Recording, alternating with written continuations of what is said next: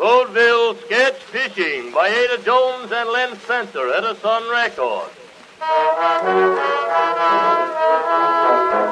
Here's Jack Richley in his new auto. He's the catch of the season, worth millions, they say. I pretend to be injured. Come, you are hurt. You are limping. Do let me take you to your hotel in my car. That's so kind of you. Don't mention it there. Where to? To the Wallingford coffee. Doesn't it give you a terrible feeling when you run over a man? Yes, if he's large and fat, it gives me a pretty rough jolt sometimes.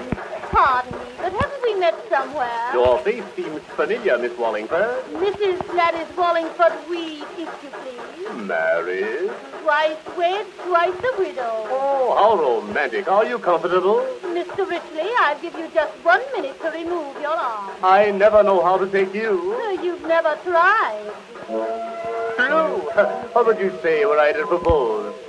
There'll be time enough to tell you when you ask. You know I never loved any girl as I loved you. Will you be my little wife? Oh, Jack, this is so sudden.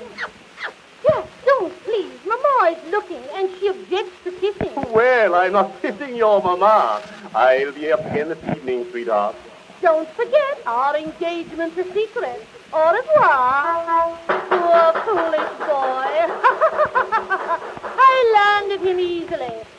Not handsome, but then he'll be such good company for dear Fido. But what if here I should lose him? Oh, well, there's just as good fish in the sea, and I do so love fishing. Oh. Fishing, fishing